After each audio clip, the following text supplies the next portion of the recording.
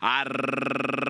Arrancan las competidoras. La partida es algo lenta para Kiss Me Hardy. Se queda en el último lugar. Saltar rápidamente por la parte central de la cancha. La lleva Miss Ann N junto a la número 3 Bramble Bay a tratar de buscar la punta. En el tercero Lover Loves. En el cuarto aparece Latin Nikita. En el quinto intenta movilizarse Rosebud Hope. En el penúltimo se queda Amazing Queen. Mientras que la número 1 Kiss Me Hardy se ha quedado en la última colocación. Miss Ann N está adelante. Trae ventaja de tres cuartos de cuerpo sobre Lover Love que viene a presionarla en 23-4 el primer cuarto de milla. Bramble Bay está en el tercero la expectativa. En el cuarto aparece el Latin Nikita. En el quinto está la lleva Amazing Queen. Junto a ella viene apareciendo Rosebud Hope. Mientras que el uno Kiss Me Hardy continúa en la última colocación del primero al último. Hay escasamente unos ocho cuerpos. En la recta de enfrente el 5 Miss N con Vincent Sheminao está en la punta. Love con José Luis Ortiz la persigue. Está solamente al pescuezo. En el tercero Bramble Bay con Irado Ortiz. En el cuarto aparece el Latin Nikita con Paco López. En el quinto por la baranda Rosebud Howe con Edgar Sayas. Más afuera aparece Amazing Queen con Gafalione.